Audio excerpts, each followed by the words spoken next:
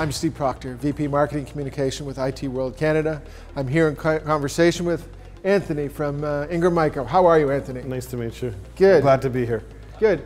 Anthony, we're at the Innovation Awards. Tell me, what is that you see your customers and your partners that are doing that are innovative? I think that the, the two key things that we're seeing is we're seeing resellers and partners move from being uh, product-based, where they're selling products or SKUs, to more solution-based outcomes. Uh, mm -hmm. people sunsetting from uh, you know, pick, pack, and ship boxes to becoming uh, managed service providers and, and, and owning the entire practice of their end users and, and their clients.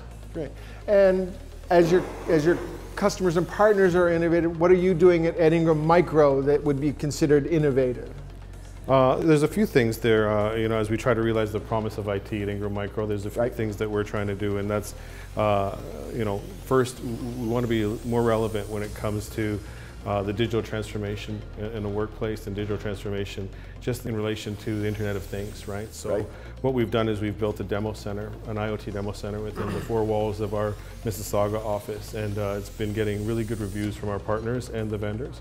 Uh, and, and it's just a little spot for you to go into and kind of take a look at what the technology is and how it works and how the analytics flow down to um, you know all of the systems that are attached and, and, and, and linked together. Uh, and we've got some good you know fun little test environments that you can take a look at. So if you ever have a chance we're more than right. welcome to come by and visit. But that, I think that's one of the one of the bigger things that we're kind of uh, jumping on that IoT bandwagon pretty heavy. And and investing there. So is it IoT then that you see as sort of the, the, the big future? Where's the sort of the future of innovation? There's, there's IoT and then the other obviously big bet is you know is cybersecurity, right? right. And that's uh, where we're going to be building out a practice around cybersecurity and a real practice that encompasses things like a SOC and a SIEM, and uh, it gets us in a little bit deeper with our partners and our clients and uh, technical expertise and all the all the all the things that I think our, our vendor partners want us to do for them, mm -hmm. um, and you know take some best practices that we're seeing globally from our, our other subsidiaries in, in the world. Great. So where do you see? Uh, do you see a lot of innovation going on? Do you see people as understanding the value of in innovation? Um, you know what? I, what I think is uh, you're going to see the partners uh, are going to have to find relevance through building practice.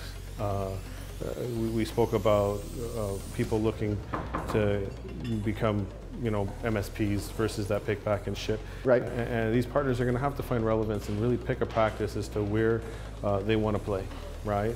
Um, and, and they're going to have to start talking to their clients in terms of outcomes and solutions and workflows uh, around those particular practices and specialize in that and then find alliances within other partners that can help them expand the business and the growing demands of their business. Well, I think I think one thing that's been clear we've, we've heard and we'll hear tonight is the, the value of collaboration and innovation. They they really go hand in hand.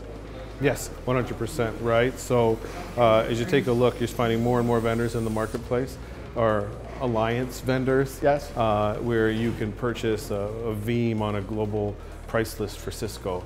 Uh, and you know, I would say that in the beginning, when I started working in, in, distribution, you know, everything was siloed, right? So I think even the vendor partners are finding the importance of making sure that it all ties together. Ingram's Ingram Micro strategy, if I had to kind of just sum it up, is inside out, where we start in the data center and we get all the way to the outer band of the network. Right. tying it all back together, right? We're no longer selling SKUs or products. Uh, we're trying to sell it as a complete solution. The whole, the whole enchilada.